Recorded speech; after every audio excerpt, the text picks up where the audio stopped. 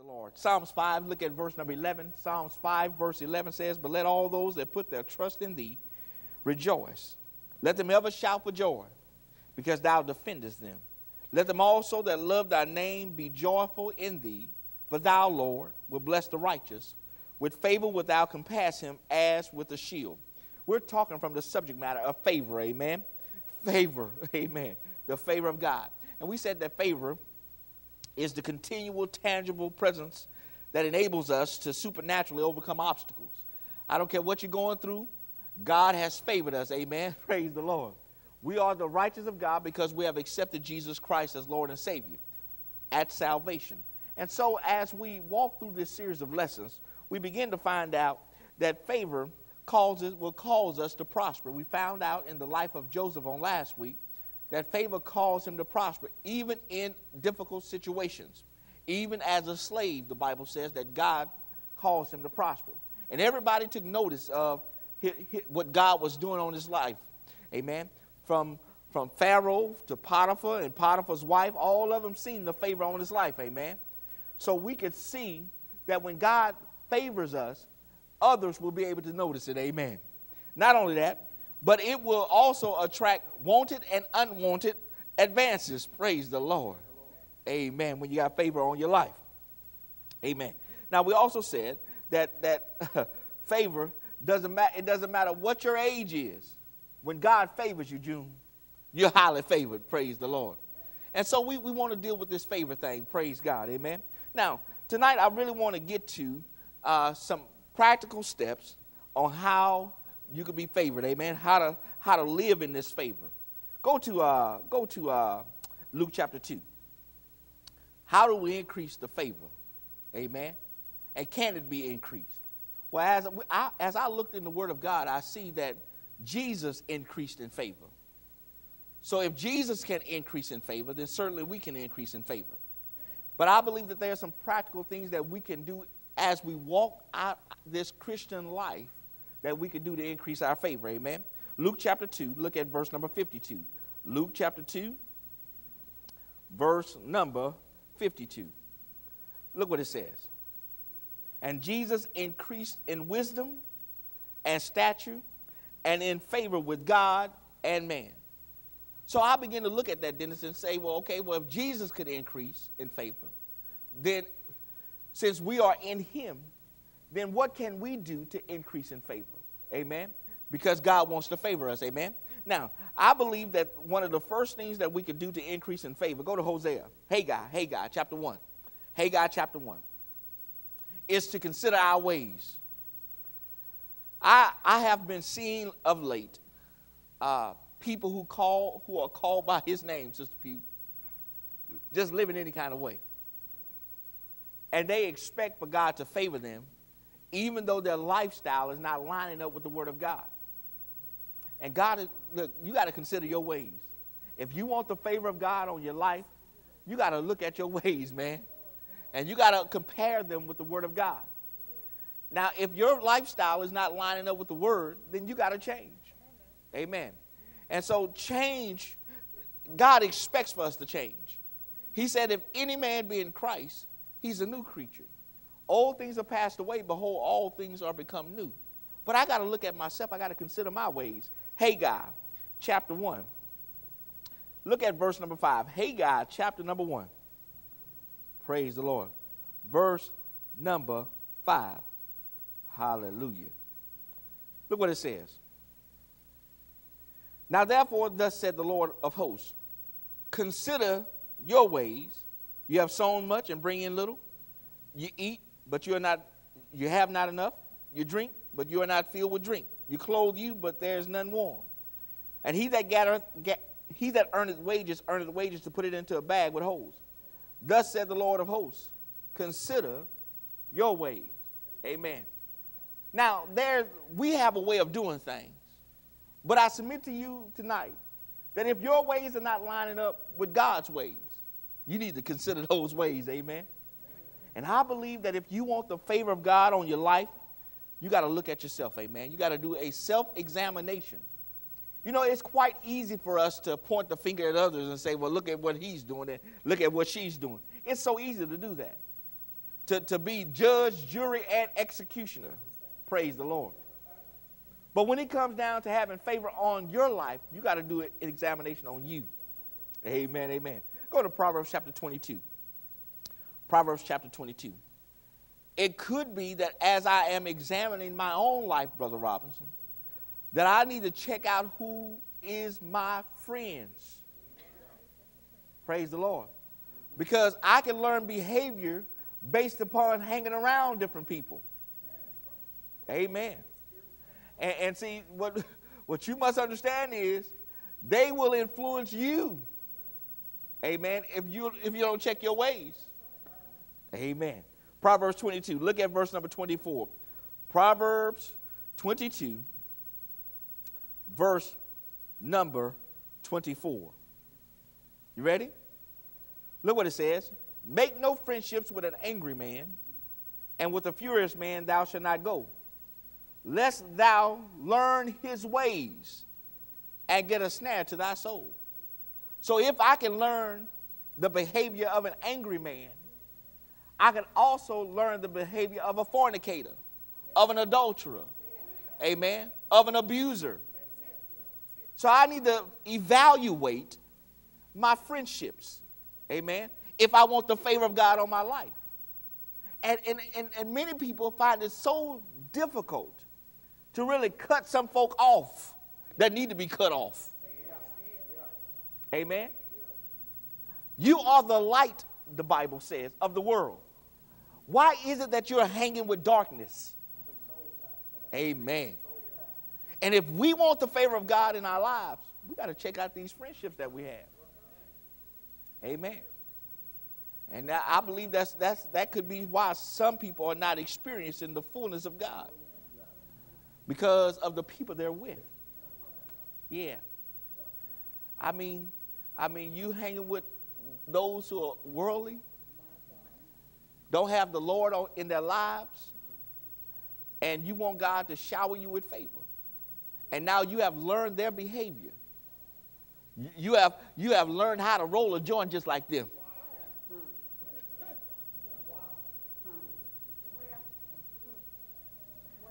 Hallelujah. And God says, consider your ways. Consider your ways. Praise the Lord. Amen. Amen.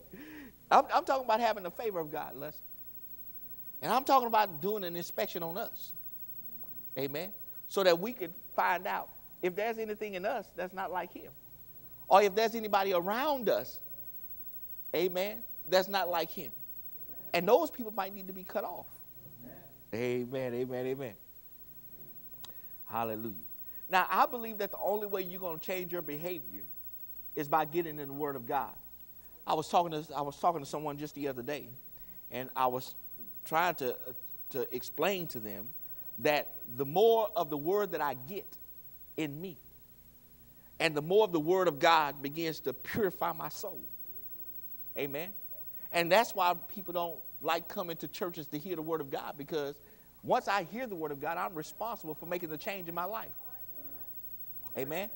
Once, once I see it for myself, and God holds me accountable for my actions.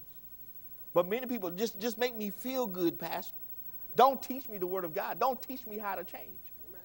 Now, many people only look at, look, they only want to change the big three the adultery, the fornication, and the drinking, and stuff like that.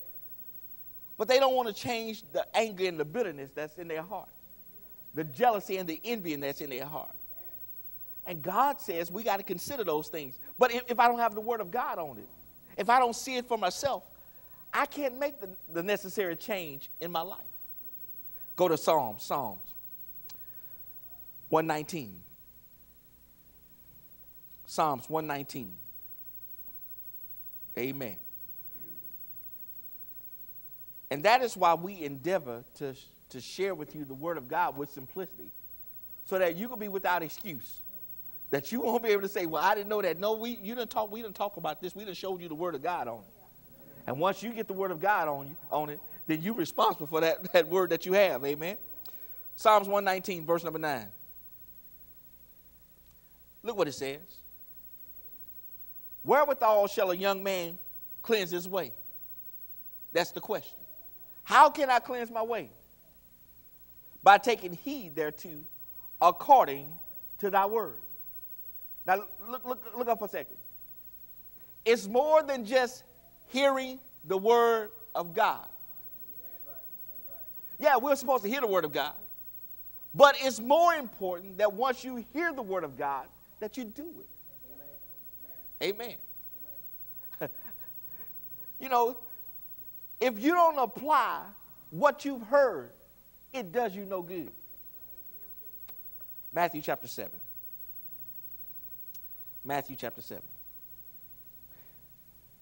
I heard that, Pastor, but what did you do with it? Amen. If you want favor, it's about the doing of the word. Amen. Not just the hearing. See, the Bible says, yeah, you, you forget what man of man you are because you, you just hear it and not do it. And the Bible says you go and look into the mirror of God's word and you forget what man of man you were. Matthew chapter number 7. Look at verse number 24. Matthew chapter 7, verse 24. Look what it says. Therefore, whosoever hears these sayings of mine and doeth them, I will liken him unto a wise man which built his house upon a rock. And the rain descended, and the floods came, and the winds blew and beat upon that house, and it fell not, for it was founded upon the rock. And everyone that heareth these sayings of mine and doeth them not shall be likened unto a foolish man which built his house upon the sand. The rain descended, and the floods came, and the winds blew and beat upon that house, and it fell, and great was the fall of it. So both people heard the word of God, but calamity faced both of them. But the one that heard it and did something with it was able to stand. It's only when I just come to church just to hear the word of God and say, Oh, Pastor, you preached a good lesson. But you don't do nothing with it when calamity faces you, devastation comes to your house, then you're not able to stand because you didn't apply it to your life. And Sister Gwen and I, we, we were talking the other day, and we said, look, all we want to do is be relevant to you. Teach you the word that is relevant to you so that you can leave this place and go do what God just said. Amen. We just, if, if, if we just show up and don't do what God says, we are just no, no better than a sorority or fraternity. Think about it for a second. They are social clubs. The church is not a social club. It's the place where we get God's word so we can examine our own lives and see whether or not we're doing what God told us to do. And then I tell you, I tell you, when you start doing what God told you, favor, favor is going to come. Ah, Pastor, I, you know, I don't want to look into my life because, because if I if I see some things that I need to change, you know, I, I don't want to change. I like what I'm doing. I, I was, I was telling a person again. I say, listen. I believe since Holy Spirit lives on the inside of us, Angie, that Holy Spirit will reveal to us the areas that we need to change. He will begin to point out, okay, your little, your little sassy attitude need to change. Amen. And, and so, so he'll begin to show us how to humble, our, humble ourselves under the mighty hand of God, that He might exalt us in due time. And so I gotta, I gotta do something with the word that I got that Holy Spirit just gave me. That now I gotta humble myself. But no, I don't want to do that. I don't want to do that. I'm just happy where I'm at. I'm, I'm, I'm, I'm good. Well, no, you're not good. Because the Holy Spirit already revealed this area that, that needs to be changed. And so it is that, that if we want the favor of God, we got to change our ways and consider our ways. Amen. Your, your, your course of action, your methods, your manners, your conduct, your behavior. Amen. Go to 1 Corinthians chapter 6. You just can't do what you want to do as a believer. Amen. No, no, you can't. You under new management, right? Didn't you say? Didn't you say that you wanted Jesus as Lord and Savior? Lord means that He gets to direct your path. Savior means he gets to save you from your sins and the punishment of them. 1 Corinthians chapter 6. Amen. 1 Corinthians chapter 6. You just can't do what you want to do. Look at verse number 19. 1 Corinthians chapter 6, verse 19. What? Know ye not that your body is the temple of the Holy Ghost which is in you, which you have of God, and you're not your own? For you are bought with a price. Therefore, glorify God in your body and in your spirit, which are God's. So I just can't do what I want to do. I, I, have been bought with a price. And the Bible says that, that since I understand that I've been bought with a price, I got to glorify God in my body. Mm, mm, mm. Praise the Lord. Amen. But I got to consider my ways. Amen. Go to Psalms 119. Go back there. Psalms 119. How do I get the favor of God? Evaluate my life, check myself out, consider my ways. Yeah, I got to consider my ways. Praise the Lord. Amen. Psalms 119, look at verse number 11. Psalms 119, look at verse number 11. You ready? Look what he says. Thy word have I hid in my heart, that I might not sin against thee. So when, when, when, when I'm evaluating myself and getting this word in my heart, the whole purpose is God, look, I don't want to sin against you. I don't want to displease you. Man, boy, that's my, that's my desire. That is my, that, that is my ultimate desire, God. I don't want to do anything that's going to displease you. Amen. So I get this word in my heart so I won't have to sin against God.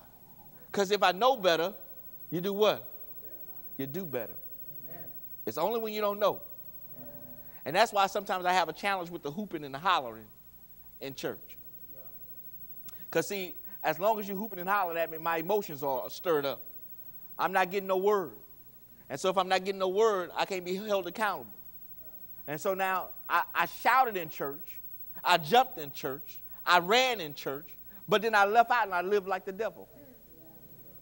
Because there's no word. There's no word. Amen. Amen. Go to go to uh, Psalms 27. Psalms 27. The next thing I want to submit to you how you can have the favor of God on your life continually is to seek his face and not his stuff.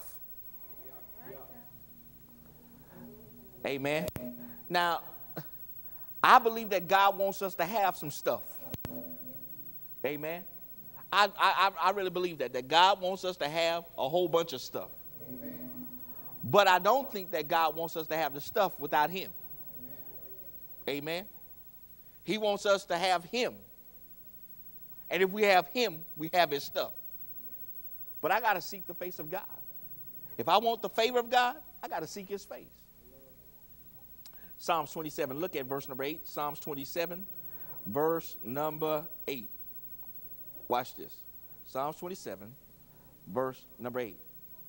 When thou saidest, Seek ye my face, my heart said unto thee, Thy face, Lord, will I seek. I got to seek after his face, man. I, I tell you, I, you got to be like Moses. Don't be satisfied with the burning bush. Amen. You got to want to know him better. Ooh, praise the Lord. Have, have, you, uh, have you gotten to a place in your, your spiritual walk where you said, God, I just want to know you more perfectly? That's God, I just want to know you more perfectly. I want to know everything about you. Okay, okay, okay, okay. Let me just bring it to the natural situation. You know how when you date folk, you know, how you wanted to get to know them? What did you do? You spent time with them. Amen. As much time as you could, you spent with the person that you wanted to know better. Now, how much more important it is to know God better than it is to know a date better. Amen. Because if I know God better, who knows the, my date, he might explain to me he's not the one. Praise the Lord. Amen. Praise the Lord. Amen. I got to seek his face. Go to Second Chronicles, Second Chronicles, chapter number seven. Second Chronicles, chapter number seven. If I want the favor of God all my life, the continual blessings of God, the tangible presence of God all my life, I got to seek his face. Look at verse 14. Second Chronicles chapter 7, verse 14. If my people, which are called by my name, shall humble themselves and pray and seek my face and turn from their wicked ways, then will I hear from heaven and will forgive their sin and will heal their land. God says, but I, look, there, there's several things I got to do. I got to humble myself. I got to pray. I got to seek his face. And I got to turn from my way of doing things. Amen. Amen. Then God say, I'll, you, I'll heal from heaven. I'll forgive their sins. And I'll heal their land. But I got to seek his face. Seek his face. Amen. Seek his face. All right?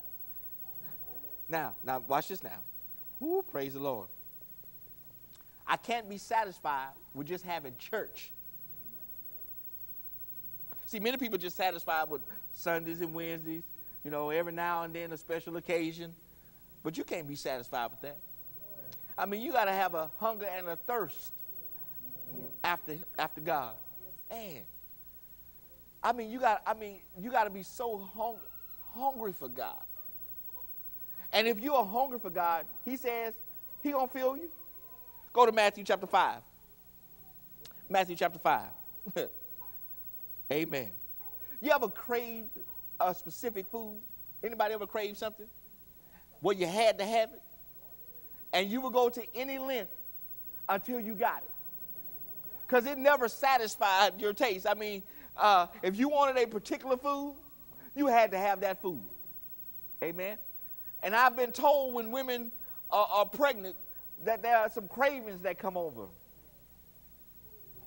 And they'll make their husbands go find a thing. Don't come back with a different brand. You come back with, I said Bluebell. Don't bring me a, a form, uh, whatever that form thing is. Don't bring me oak form. I want Bluebell. Amen. And so you would go to the ends of the earth to satisfy that craving. But what about God? What about the presence of God? That God, I, I'm not satisfied until I get you. I'm a God chaser. Matthew chapter 5. Look at verse number 6. Matthew chapter 5, verse number 6. Blessed are they which do hunger and thirst after righteousness. For they what? God promises us that if we will seek after him, hunger and thirst after his righteousness, the Bible says, I'm not going to have just a, a, a bit of taste of him, but I'm going to be completely filled. Amen. Could it be that some people just don't want to be filled? Because the more of God I have, the more of God has of me. Amen. Ooh. That's it. That's it. That's it, Sister Pew. That, that I'm afraid, Pastor. I'm afraid to yield my life to God because I don't know what God wants me to do. He might tell me to go over here or go over there. And I, I don't know if I'm ready for that. So therefore, I'm not going to yield. That's why I don't want to seek his face. Because the moment I seek his face, I get instructions for my life. Amen. But I'm telling you, if you want the favor of God, you got to seek his face. Amen. And not his stuff. oh, man. Go to Isaiah chapter 6. Now, here, here's another reason why I, I believe that people uh, are apprehensive to seeking the face of God. Because once I get into the presence of God, Sister Mary Jane, God begins to reveal who I am. Amen. I mean, have you, have you ever have you ever been seeking God's face and then all of a sudden God began to show you you? Amen. And, and what condition you were in? oh, Jesus. Amen. And then it goes back to you considering your ways because now you've been exposed. for the real you. Amen. You dressed up the outside, but on the inside you were like dead man's bones. And so, so, so I don't want to get into the presence of God because now He's going to expose me. Woo, praise the Lord. Isaiah chapter 6. Look at verse number 1, Isaiah chapter 6. Isaiah chapter 6, verse number 1. In the year that King Uzziah died, I saw also the Lord sitting upon a throne, high and lifted up, and his train filled the temple. Above it stood the seraphims. Each one had six wings. With twain he covered his face, and with twain he covered his feet, and with twain he did fly. And one cried unto another and said, Holy, holy, holy is the Lord of hosts. The whole earth is full of his glory. And the post of the door moved at the voice of him that cried, and the house was filled with smoke. Then said I, Woe is me, for I am undone, because I am a man of unclean lips, and I dwell in the midst of a people of unclean lips. For mine eyes have seen the King, the Lord of hosts. Amen. So when I see God for who He is, He, he shows me who I am. And that could be why I don't want to seek His face. Because now I, I see I'm, I'm undone. Amen. I got all the right clothes on, but on the inside, what's going on? You know, and, and, and, and people have mastered fronting in church. They've mastered. They've mastered covering up the sin. Well, it looks like nobody else knows. But when I get into God's presence, amen, where are you going to go to hide from God? How can you, how many clothes can you put on where God won't see the inner man, the heart of man. And it could be that's why you, people don't have the favor because they're not seeking the face because they don't want to be exposed for who they are. praise the Lord, Amen. Woo, praise the Lord, Pastor. I didn't know that. I didn't know that much about favor. Uh huh. Mm-hmm. Who praise the Lord. I found this out. The more intimate our relationship is with God, the more of his favor comes on our lives. I mean, the more, the more, the more of his presence I have, I'm in. The more of the favor I have. That's why the intimacy that God is looking for. That's why God designed man. You think God just created you just, just to create something? No, he created us to have fellowship with him. Because he wanted to have this love relationship. Amen. And that's why he sent his son. He loved us so much, Sister Gladys, that he said, I'm going to send my son so I can have a relationship with them. They messed up from the beginning. But I, I have a redemptive plan to get them back to me. And if they would just want this relationship, I've done everything already for them. But now my children are running from me. Okay, okay, in the natural, in the natural. Well, well, let me just let me just let me just bring it back to the very beginning. When when God created Adam, they had such an intimate relationship with each other. They were talking every day. In the cool of the day, the Bible says. And then when Adam messed up, Adam tried to cover himself. Amen. And God said, Adam, where you get them clothes from? Where you get that from? You try to cover yourself. He said, God, I was trying to hide. I'm trying to hide from you. Because I didn't want you to see what man of man I, be, I have become. Hallelujah. You can put on as much makeup as you want. You can wear the longest skirt you want. Get the best three piece suit you want. But God still will expose you. I, am trying to tell you how to get favor. Amen. I'm trying to tell you how to have this continual blessing of God on your life. And it's not just showing up to church. Amen. The Bible says the devil's no know and believe that Jesus is Lord, but they, they ain't accepting him. The devils know him. You remember when, when they had all them devils in the swine? He said, Jesus, what have we to do with thee? They knew who Jesus was. But just because they knew who he was, they didn't submit to him. Oh, man. Favor. Amen. Favor. Go to Deuteronomy chapter 11.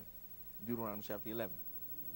If I want the favor of God, I got to consider my ways and I got to seek the face of God. Amen. I got to seek his face. The Bible says, Seek him now while he can be found. Call upon him while he's near. I got to do it now. I can't wait. You know, some people, some people will say, Well, I'll wait until the, the latter years of my life. Well, who, who promised you that you're going to make it? Hey, man, the way things are happening right now, I, I, was watching, I was watching the news before I came here. Did you see them two ladies? They shooting at each other for crawfish. Yeah. 170 and 123. Now they could have lost their lives for a crawfish. I'm telling you, better seek the face of God. You better see, I'm telling you, y'all better seek the face of God. Praise the Lord. Deuteronomy. well, I told y'all to go chapter 11. Look at verse number 26. Deuteronomy chapter 11, verse 26. Behold, I set before you this day blessing and a curse.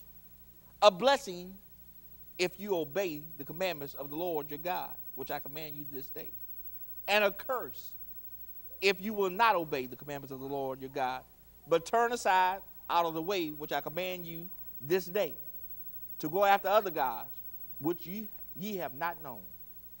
So the next thing I want to submit to you, that if you're going to have favor, you got to obey. So, somebody say obey. So God says, I'm setting before you a blessing and a curse. He said, the blessing will come as a result of you obeying what I said. A curse will come as a result of not obeying what I said. Now, now, now, listen to me now. When I talk about obeying what God said, I'm also talking about when Holy Spirit speaks to you. You know that that that soft voice that comes and says, I want you to do thus and so, and you try to shake him off as if you didn't want to hear what he had to say, that's still disobeying God. he said, I've set before you life and death, blessing and cursing. And many people don't want to obey God because it might inconvenience them. Amen. It might inconvenience them because God, I, am on a set schedule. Now, if, if, if, if I got to go do what you said, I'm going to get out of my comfort zone. I'm comfortable where I'm at. I'm comfortable sitting in the pews. And God says, No, there's more that I want from you. And some people are just sitting there just disobeying God and, and, and can't figure out why the favor ain't happening for them. I'm telling you right now, it's because you're not obeying. You're just not obeying. You want to do your own thing. And God says, no, you got to obey. and here's the thing, Jude God is not cursing you. People make a decision to disobey God, and the consequences of their disobedience is the curse. That's what happened with, with tithes and offering. God ain't cursing nobody. God said, look, give your tithe and your offering and you won't live under the curse. Well, now, if you're under the curse, it's because you made a decision not to obey what God said. Oh, I think it's so simple. We make it just so difficult. The easiest thing for you to do to have a successful life is just obey God. No, no, seriously, seriously. Since he is in authority and control of you, all you got to do, Diana, is just do what he said. And guess what? It's on him. I told, I told God when we started this church, I said, this is your church.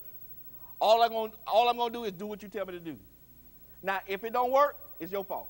Because I'm gonna obey you. I'm gonna look, if you tell me to go walk off the cliff, I'm gonna walk off the cliff.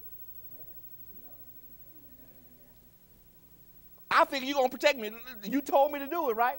Now, here's the thing. You got to make sure that that's his voice. Praise the Lord. Before you start walking, amen.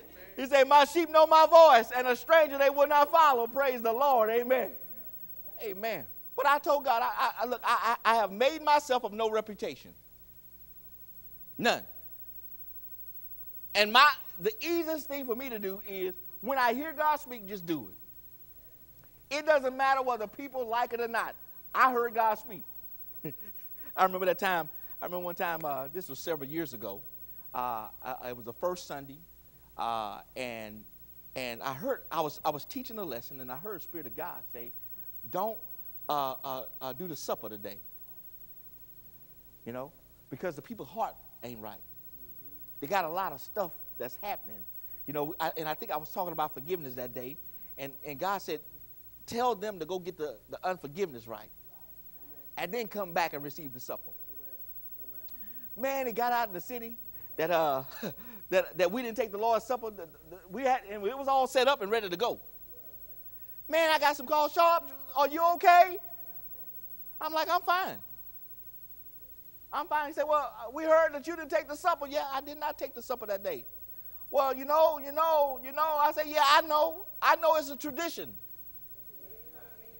to take it on the first Sunday. But the Bible says, as often as I do it, if I do it on Monday, if I do it on Tuesday, if I do it on Wednesday, Thursday, Friday, it's still as often as I do it. I said, but here's the thing. What you don't understand is God told me not to take it. God told me that. And look, look, look. And, and I say, that's why the Bible tells the pastor, you need to know the state of your flock. Amen. And you better be listening to Holy Spirit. Praise the Lord. And so, man, I mean, I mean, when, when you obey God, people will look at you kind of funny because they not obeying God. Amen. You gonna do what? You gonna go where? You gonna give how much? Because the Lord said. The Lord. And they be looking like, well, the Lord ain't never told me nothing. Yeah, he been talking to you, but you just haven't been listening. Amen. But if I want favor on my life, I gotta, I gotta obey God. Go to Job 36. Job 36. Job 36. Yeah. Yeah, Job 36.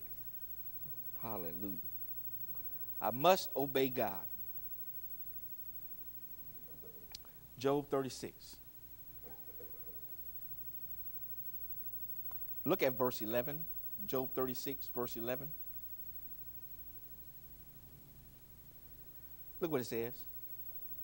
If they obey and serve him, they shall spend their days in prosperity and their years in pleasure. But if they obey not, they shall, they shall perish by the sword, and they shall die without knowledge. Wow. If I obey, I'll have the good life. If I don't obey, I'll end up dying. That's a choice we got to make. I mean, it's straightforward. Look, obey and live in prosperity. Don't obey and die. Now, my obedience now must be out of love and respect for God, not because He's making me do something. Amen. You know, I, I, believe all of our parents, when we were growing up, made us go to church. I know my mama did. My mama told me if I didn't go to church, Sister Gladys, I couldn't go outside and play. And I knew after church I won't go shoot marbles with RC. So I know I need to go to church. And the days I tried to shoot hooky, you know, you know, was days you, you put the cover over your head and make yourself real hot so you get a fever. You Then you go to your mom and say, Mom, I got a fever. She said, Okay. All right. And then all of a sudden, the Lord healed you by the time they got home from church. I'm healed. I'm ready to go. I'm ready to go. And she said, Oh, no. Oh, no, you got to stay in the house. Well, that was constrained obedience. I, I, I, there were times I didn't want to go to church. Mama made me go to church. Amen. I, I, I was made to go. Then there is partial obedience. There's sometimes that people will partly do what God said. I did part of it, God. Well, the part that you did did not do is still disobedience. See, many people partly do what God. I did half of it. And God say, well, that's not all of it. Amen. Then there is willful obedience. God, I just, I just, I just love you so much. I, I, I love, I love my father so much that if he tells me to do a thing, God, I'm going to do it. I'm not going to do it partially. And, and how, how many of you know there's some half-hearted Christians? They do stuff halfway, you know. What if God would do half with you? He gonna halfway save you, halfway deliver you, halfway set you free. I mean, you got you got a chain on this arm, but the, the, the left arm and then the right arm, God set you free, but you're still in bondage. What if God would do us like that? So why are we going to partially obey God? Amen. But if I want the favor of God, I got to obey him. Somebody say obey again. Woo. And see, when I obey God, he must be the priority in my life, the most significant other in my life. That's how I obey God, because God, I made you the most significant other in my life. Nobody else come before you. So again, all I want to do is please you. God, I, am willing to obey you even though I don't know where you're taking me. What if, what if, what if uh, Abram would have told God, God, give me the, give me the map first. In Genesis chapter 12. When he tells him, look, I want you to get up, leave your father's house, go to a place that I'll tell you of. I'm not going to tell you right now. Just go. Take I 10 and just drive. God, but where I'm going? I'll tell you. How many of us would take that type of step? You don't know where you're going. But all you know is that God told you to get up and go. I got to be willing to take bold steps of faith without full understanding. God, I don't know where you're taking me. I don't know what you're going to do, but you told me to leave and I'm going to do it. Wow. See, many people want to know the end result before they ever get there. Well, you don't need faith for that. You don't need faith for that.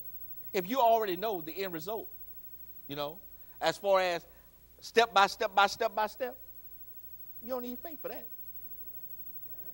And faith is the only thing that's going to please God. I, there are times where I say, God, just show me all of it. And God say, it wouldn't be faith for you. It's a daily walk. I mean, it's, it's, a, it's a constancy that you live by faith. You got to live this thing, man. And when you obey God, you, you are living by faith. Because, you know, look, the Bible says that He orders our steps.